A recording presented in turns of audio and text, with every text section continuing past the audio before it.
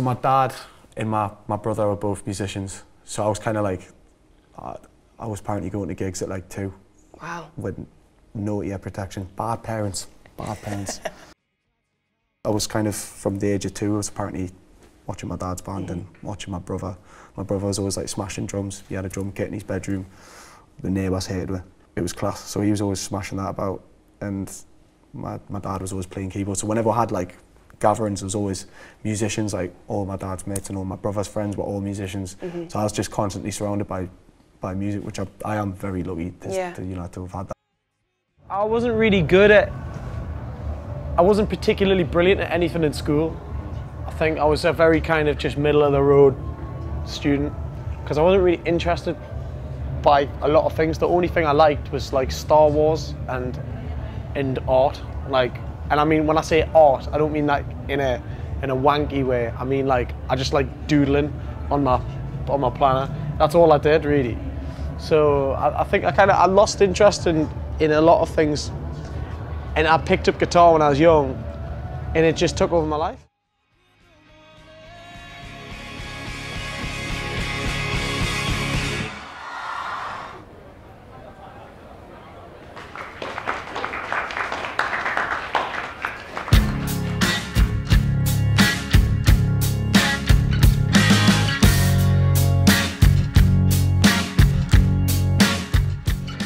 It's been like a seven year journey. So like I left my sixth form college and with, with terrible grades and went and worked in a pub. And my manager, uh, Ben Howard's manager, walked into the bar where I was working because he's come back home to celebrate after Ben won some Brit Awards. And then uh, he saw me playing. My, my bar manager, who looks like Winston Churchill, was like, go get your guitar out, boy, and sit in the corner and play. And I didn't know why, because I was normally getting in trouble for playing guitar and I sat and played. But you had a few of your own songs at that yeah, point. Yeah, you got, and, so and you're playing your own songs, came over. doing a little thing. and he came over. over and he went, he went, have you got any originals? And I went, yeah, I've got some originals. I stopped playing some originals and then he took me on.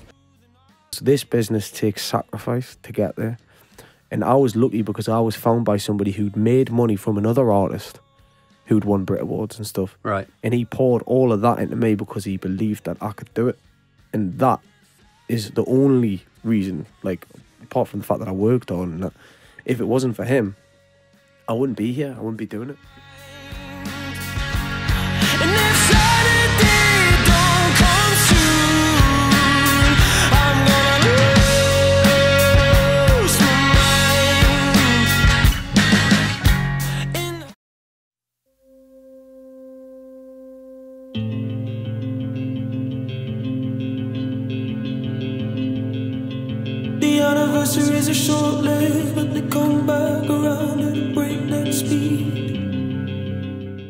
There was a time in my life where me and my mother were struggling.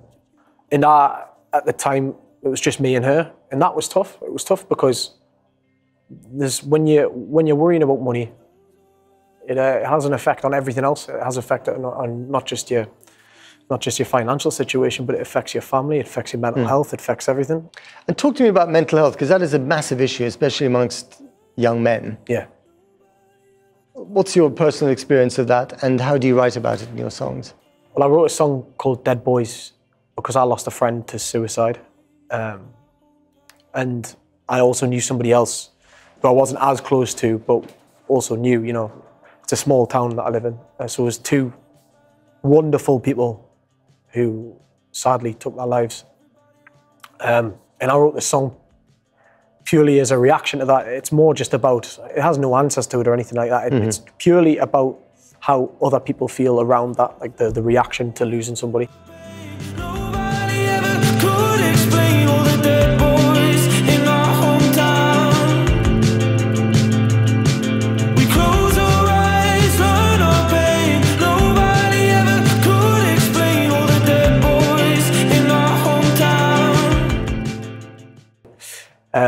And then in turn, because I wrote when I wrote that, I became more sensitive to to male suicide, and then I was starting to see all of the suicides like around my hometown. Mm-hmm. there was there was quite a few, um, and they're all young lads as well.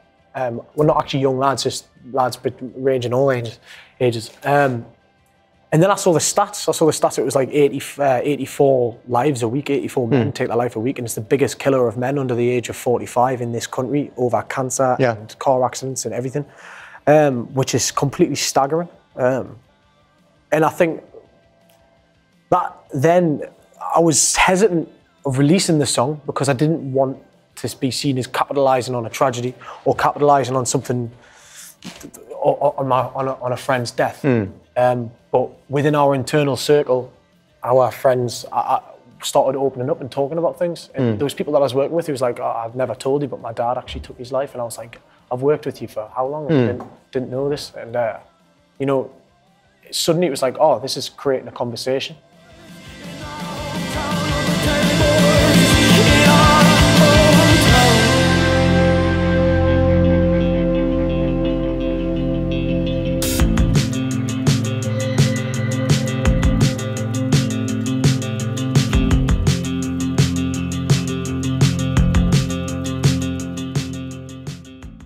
I wish that I didn't get annoyed at myself for crying when I was a kid. Being sensitive, it's took me to, to the age of 25 to realise that that's a fucking wonderful trait. I used to have this, this kid used to, every fucking day in school, used to come up to us, and used to get his hand like that, and he used to push me face back, and it would sometimes he'd pop my nose, and they'd be like, ah, you're fucking crying, and I'd be like, Ugh, and I'd go home, I'd try not to cry in front of them, I'd go home, and then I'd get upset and cry at home, and I'd be so fucking angry at myself for crying. But then it's like, of course you're fucking gonna cry. Like, that kid's an arsehole to you every single day. And I'd be like, uh, you, you'd hear things growing up like, I'd have older peers, older men saying to us like, boys don't cry.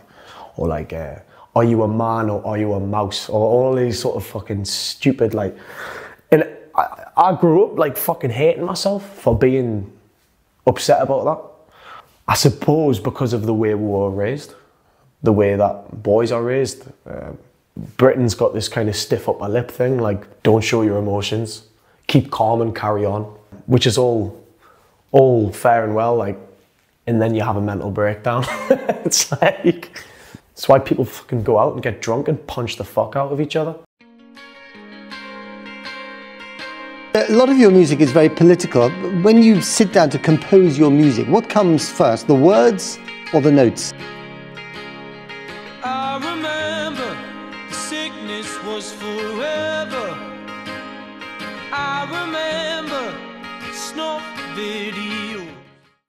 Um, I'm first going to start by saying I'm not uh, like politically eloquent or anything like that. It's more like I'm just speaking about what I see on the news or what I see online. You know what I mean?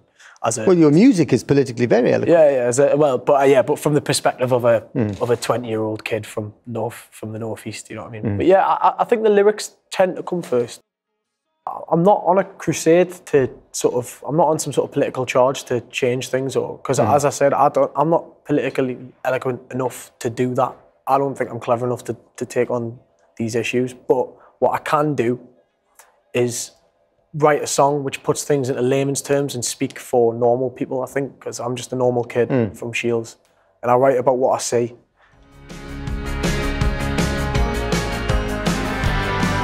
I was far too scared to hit him, but I would hit him in a heartbeat now.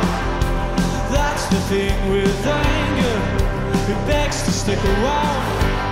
So it can fleece you of your beauty and leave you spent with now to offer. Makes it hurt the ones who love you. You hurt them like they're.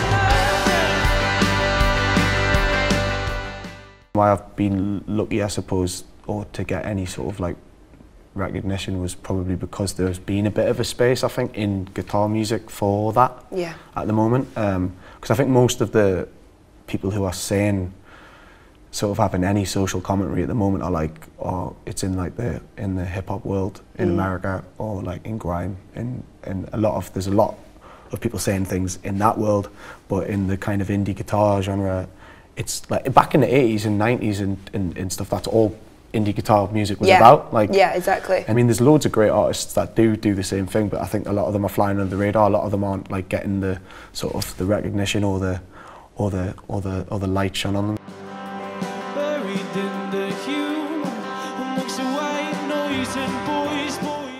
White privilege is hard for some people to understand, especially like in my hometown.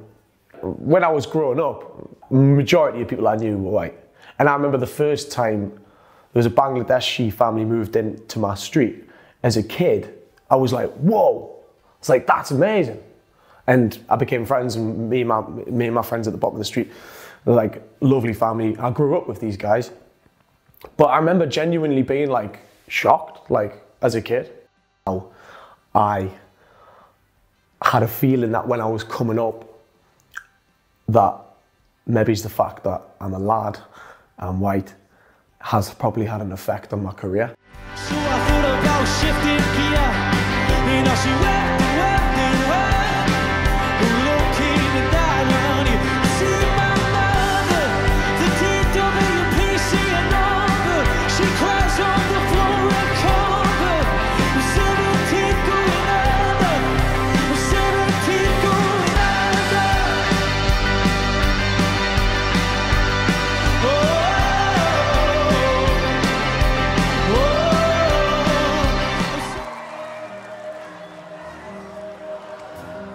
Song, thank you so much for the night. Have a fucking wonderful night. We'll see you next time We'll come up. hardest job in the world, but it's also the best job in the world. I'd say. Well, it's not the hardest job in the world. That's that's absolute bollocks. There's much harder jobs, but it's the hardest job I've done. But it's definitely the best one I've done.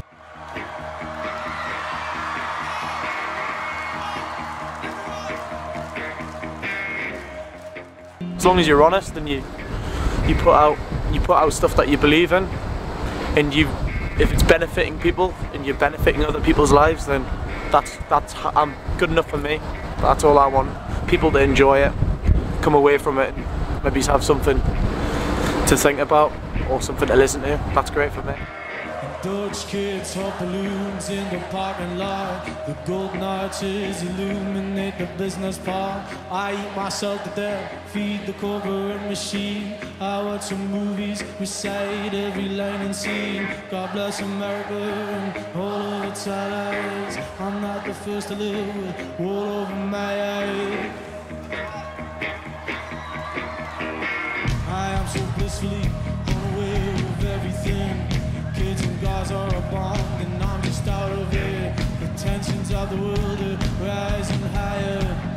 Probably due another war with all desire.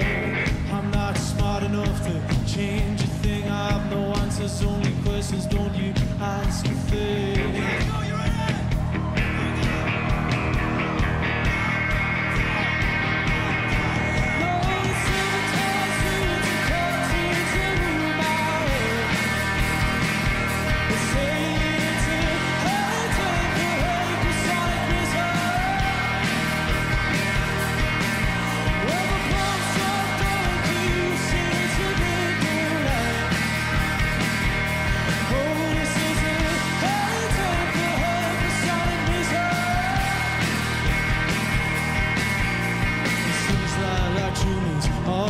Across the world, eating mankind, hidden in our blind side. They say I'm a nihilist, cause I can't see any decent rhyme or reason for the life of me. But I believe in what I'm feeling, and I'm far